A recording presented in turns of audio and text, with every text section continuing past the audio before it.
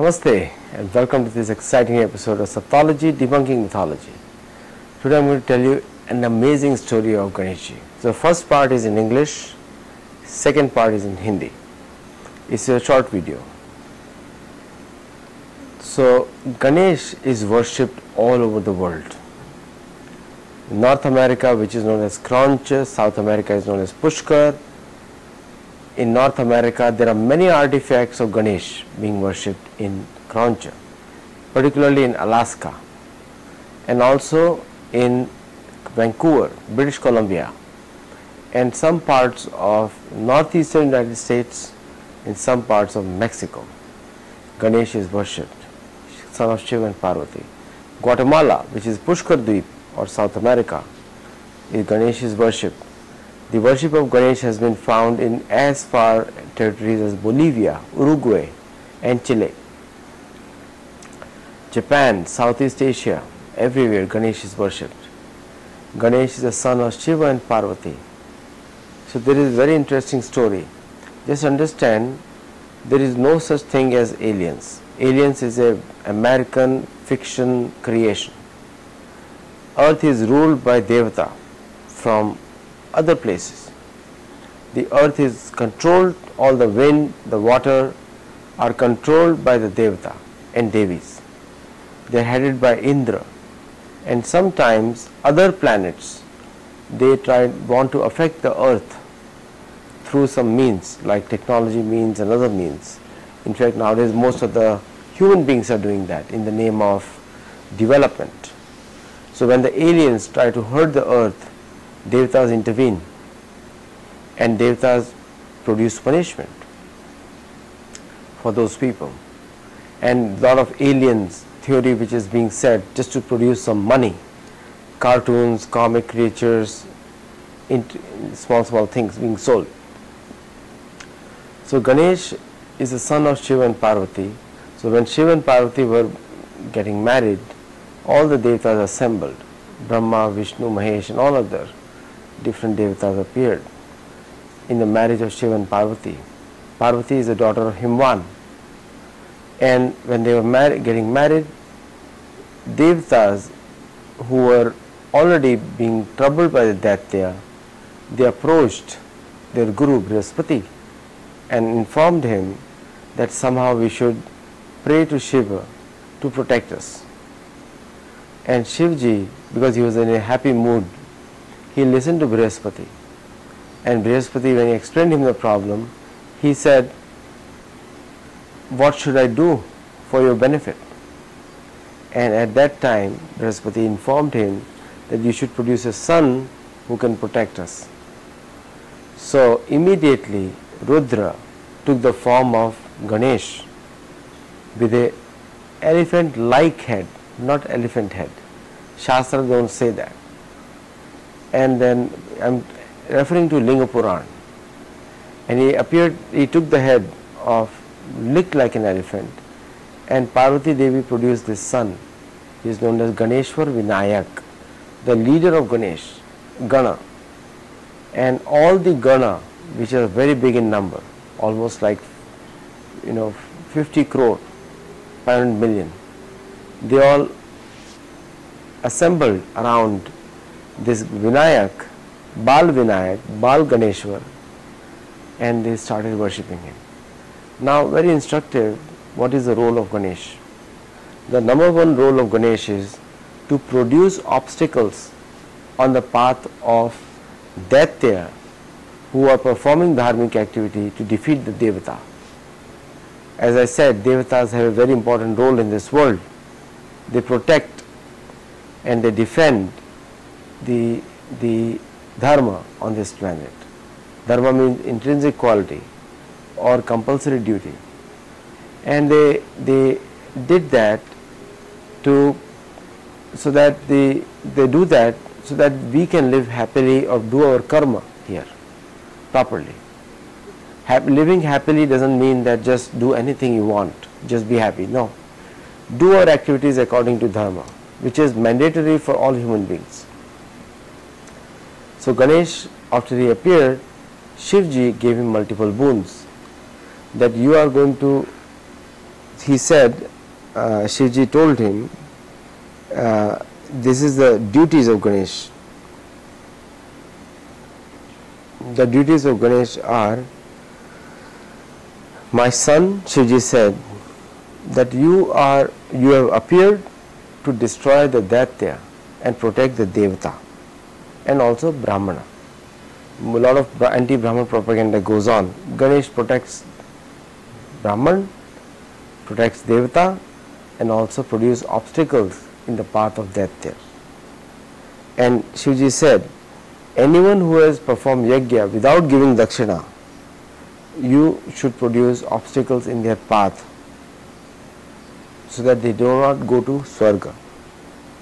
And whosoever performs the study, vyakhya, teaching and, and without uh, justifying or without permission, you should always take away their life. The third thing, those who are away from the guna and karma and in their, their life also you should take away.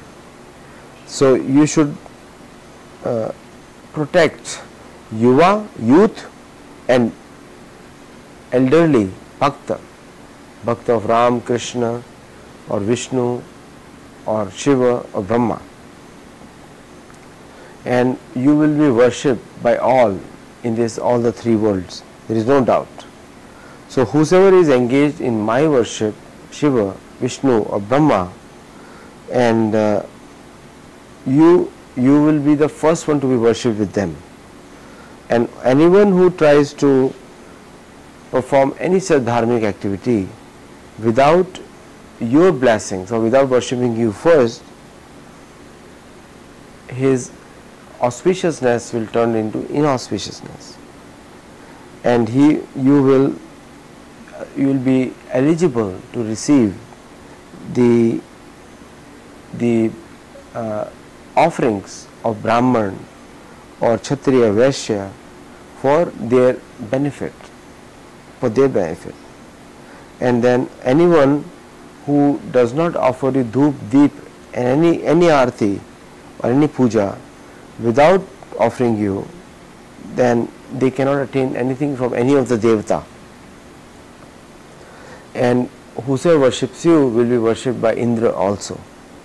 So if anyone desires any benefit from Devta and doesn't worship you, so even if uh, they are devotees of Brahma, Vishnu, Mahesh or any other Devta, you should you should bound them with obstacles. So Ganesha has both the purposes. So he produces obstacles for those who do not follow these rules and also he removes obstacles who follow these rules. Okay. So after this uh, Ganeshji and all his Ganapati, they worshipped Shivji and, and they all stood in front of them. And then all, everyone in this loka started worshipping Ganeshji since that time. So this is the advent of Ganesh. Now there are some other political stories like how Ganesh worship was started by in human society, those are political stories. That has nothing to do with the actual story of Purana. अभी इसी को हिंदी में बोलूँगा, इसी story को। सो इन हिंदी गणेश जी आज गणेश चतुर्थी है। आप सबको बहुत बहुत मेरा प्रणाम और सभी गणेश भक्तों को और मैं भी गणेश भक्त हूँ। तो हम सभी को आज एक सुनहरा मौका है गणेश जी को याद करने के लिए। तो गणेश जी का जन्म कैसे हुआ? बहुत अलौकिक कहानी है। तो दैत्य यज्ञ करके उन्होंने देवताओं को बार बार हराते रहते हैं, परेशान करते रहते हैं। जो अमेरिका बोलता है एलियन थ्योरी ये बाहर के, क्योंकि इस इस पृथ्वी को, वसुंधरा को जो मैनेज करता है, वो देवता है। कि स्वर्ग के राजा इंद्र इस पूरी पृथ्वी को मैनेज करते हैं। अगर पानी कहीं ना हो तो कहाँ से खाओगे खाना? भोजन कैसे आएगा? कहीं समुद्र न, समुद्र में अगर समुद्र की से बादल न उठे तो क्या खाएँगे लोग? भूमि देवी अगर अन्न न उपज करें तो क्या खाओगे? तो जाके हम आईफोन और ये सब बड़ी बड़ी बातें करते रहते हैं टेक्नोलॉजी सोशल मीडिया पे नाचते रहते हैं लोग। अगर भोजन ही नहीं होगा तो कहाँ से नाचोगे? तो हमारा जीवन देवताओं पर आश्रित है। और ये बातें सत्य है। अमेरिका के प्रोपोगेंडा पे मत जाइए। उनको तो खिलौने बेचने एलियन के बना बना के मूवीज़ बेचनी है। लेकिन उससे कोई हमारा वास्तविक जीवन नहीं चलने वाला है। हमारा वास्तविक जीवन चलने वाला है गणेश जी की स्तुति करके। तो आज इस पावन अवसर पे आप ये सुनिए कथा। जब देवताओं देवताओं ने ब्रह्मा, विष्णु, महेश की पूजा करी तो उनको बहुत आशीर्वाद मिला देवताओं से और ब्रह्मा, विष्णु, महेश से। और वो इतने शक्तिशाली हो गए कि उन्होंने देवताओं को ही हरा दिया।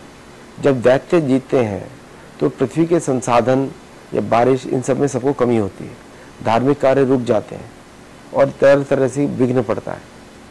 तो सभी देवताओं ने अपने गुरु बृहस्पति को बोला कि कृपया करके आप शिव जी को मनाइए। अभी उनकी शादी हुई है, क्योंकि शादी में सब आए थे, शिव पार्वती की शादी में।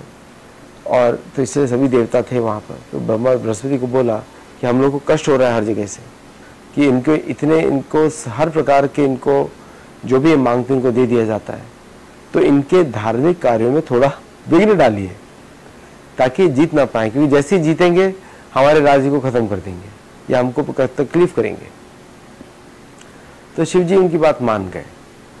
उन्होंने तुरंत ही रुद्र रूप धारण किया और उनके मस्तिष्क, उनके मन से तुरंत एक गणेश्वर विनायक प्रस्तुत हुए और तुरंत पार्वती देवी ने एक बाल विनायक गणेश्वर को जन्म दिया। श्री गणेश भगवान ने की जय। और जब गणेश का जन्म हुआ तो शिवजी तो अत्यंत प्रसन्न हो गए। और उन्होंने तुरंत आ, आ, अपने बाल बाल बाल गणेश्वर को देखा और वो नृत्य कर रहा था उनकी स्तुति कर रहा था उनको देखा और उन्होंने सभी प्रकार के संस्कारों को स्वयं किया। फिर उन्होंने आदेश दिया पिता का कार्य होता है आदेश देना पुत्र का कार्य होता है उस आदेश का पालन करना। तो पिता ने आदेश दिया कि मेरे पुत्र तुम्हारा अवतार दैत्यों के विनाश के लिए, देवताओं तथा ब्रह्मवादी द्विजों के उपकार के लिए हुआ। द्विज मतलब ब्राह्मण जिनका दीक्षा हुआ है, जो पढ़ाई लिखाई करते हैं धर्म के। और जिसने भी पृथ्वी पर दक्षिणावीन यज्ञ किया है, वो तुम स्वर्ग पथ में स्थित होते हुए उनके धर्म विघ्न डालो। मतलब वो स्वर्ग की तरफ़ न जा पाए। इस पृथ्वी तल पर जो अन्याय पूर्वक अध्ययन, अध्यापन, व्याख्यान तथा अन्य कर्म करता हो उसके प्राणों को तुम सदा हरते रहो। स्पष्ट है कि जो भी, क्योंकि वेदों की पढ़ाई के लिए भी आपको परमिशन चाहिए। गुरु का आशीर्वाद चाहिए, गुरु की दीक्षा चाहिए, तभी आप तभी आप पढ़ सकते हैं। उसके बिना नहीं पढ़ सकते। उसका पर्पज है। नहीं तो बहुत सारे लोग देवे पटनायक बन जाएँगे। बहुत सारे लोग ये सब बन जाएँगे। तो कितने लोग ऐसे ही उल्टा सीधा बोलते रहते हैं? शास्त्रों को पालन नहीं करते। सारे पुराण प्रमाणिक है। सारे पुराण मिथोलॉजी नहीं है। सत्योलॉजी है। सत्योलॉजी मतलब सत्य का विज्ञान। सत्य सत्य है सत्य की पढ़ाई। महाभारत रामायण, पुराण, सभी इतिहास है। तीनों इतिहास है। जो व्यक्ति आपको ऐसा बोले कि पुराण इतिहास नहीं है तो उनको पूछ लीजिए, अगर पुराण इतिहास नहीं है तो आप क्यों कहानियाँ कहाँ से सुनते हो? कृष्ण कथा क्यों करते हो? सब पुराणों से आती है। तो तो हे नरश्रेष्ठ अब यहाँ पे गणेश जी को नरश्रेष्ठ बुलाया गया तो नर है वो। है ना? जो लोग बोलते हैं, हाथी का सिर काट के लगा दिया, वो सब कहाँ से कहानियाँ पता नहीं है। लिंग पुराण में तो ऐसा लिखा नहीं है। किसी और पुराण में होगा तो ज़रूर आप कमेंट करके लिखिएगा। जो अपने वर्ण से च्युत और अपने धर्म से रहित, वर्ण का मतलब गुण, कर्म से च्युत और धर्म से रहित पुरुषों, स्त्रियों के भी प्राणों को हर लो। अगर विनायक जो स्त्रियाँ और पुरुष सदा काल ऋतु और पूजा करें उन्हें अपना साम्य प्रदान करो। मतलब अपनी संरक्षण दो। तो जो भी स्त्री पुरुष उनकी पूजा करते हैं संरक्षण मिलता है। और जो बा, बाल गणेश्वर तुम इस लोक में परलोक में पूजित होकर युवा और वृद्ध भक्तों की संपूर्ण रक्षा का संपूर्ण प्रयत्न करो। तो युवाओं को और और और वृद्धों को भक्तों को भक्तों को संरक्षण मिलता है गणेश जी का। तो सभी हमारे युवा और वृद्ध इस वर का उपयोग करें। प्रार्थना करें गणेश से संरक्षण की। आपको ज़रूर संरक्षण मिलेगा। मतलब कर्म से चित मत होइए। कर्म से चित होंगे तो गणेश जी आपको आपके आपके लिए विघ्न बन जाएँगे। तो गणेश जी विघ्न भी है, विघ्नहर्ता भी है, दोनों ही। दैत्यों के लिए, असुरों के लिए विघ्न प्रोड्यूस करते हैं और भक्तों के लिए विघ्न हरता है विघ्न हटा देते हैं। दोनों पर्पज है गणेश जी के। तो तुम तीनों लोगों में सर्वत्र विघ्न गणेश्वर के रूप में पूजनीय तथा वंदनीय होगे। कोई इसमें कोई संशय नहीं। हे पुत्र, जो विप्र मतलब जो बुद्धिमान व्यक्ति हैं, विष्णु ब्रह्मा की पूजा करते हैं, मेरी पूजा करते हैं, उन ब्राह्मणों के द्वारा सबसे पहले तुम पूज्य होगे। तुम्हारी पूजा न करके जो कल्याण और श्रोत स्मार्थ, लौकिक कर्म करेगा, उसका मंगल अमंगल के रूप में परिवर्तित हो जाएगा। हे गजानन तो उन समस्त कार्यों की सिद्धि के लिए ब्राह्मणों, क्षत्रियों, वैश्यों तथा शूद्रों के द्वारा शुभ, भक्ष, भोजन आदि से बड़ी बात पूजा के योग्य हो गया मतलब यहाँ पे अथॉरिटी दी गई कि आप उनको पूजा कर सकते हैं। इस तरह ही देवता बनाए जाते हैं। देवताओं को ये दायित्व दिया जाता है। विघ्नहर्ता का बट उनको ये पावर्स भी दी जाती है। अथॉरिटी दी जाती है कि आप कर सकते हैं। कौन देता है? महादेव। महादेव अथॉरिटी देते हैं। महादेव के आज्ञा के बिना कोई देवता आपसे भोग एक्सेप्ट नहीं कर सकता। क्योंकि उनका पर्पज ही आपसे एक्सेप्ट करना। तो गंध धूप, पुष्प आदि से तुम्हारी पूरी पूजा किए बिना तीनों लोगों में कहीं भी देवता तथा अन्य लोगों से भी कुछ प्राप्त नहीं हो सकता। तो बिना गणेश्वर की पूजा किए हुए बाकी देवताओं की पूजा अगर आप करेंगे, तब भी आपको उसका फल नहीं मिलेगा। जो मानव विनायक की पूजा करेंगे वो इंद्र के भी पूजनीय होंगे, इसमें कोई संदेह नहीं है। इंद्र आदि मतलब सारे देवता। यदि फल की इच्छा तो रखने वाले तुम्हारी पूजा नहीं करते हो तो वे चाहे ब्रह्मा, विष्णु और स्वयं मैं, इंद्र, अन्य देवता ही क्यों ना हो, तुम उसे विघ्नों से बाधित कर दो। मतलब आदेश दे दिया। हम्म? तो इतना इंपॉर्टेंट है। इसीलिए आप देखेंगे, नारद पंचरात्रि का विधि में हमारे पूजाओं में तो सबसे पहली पूजा गणेश जी को दी जाती है। ओम गम गणपति नमा, ये उनका मंत्र है। या फिर वक्रतुंड महाकाय सूर्य कोटि ये प्रार्थना है गणेश जी से। तो सभी से, उसी समय से गणपति की पूजा शुरू हो गई। ये कहानी बहुत पुरानी है। पहले कल्प की कहानी है। पहले कल्प। पहले कल्प और पहला सतयुग। उसकी कहानी है। ठीक है। तो thank you all very much और आपसे हम फिर बात करेंगे। Do like share subscribe and let me know your feedback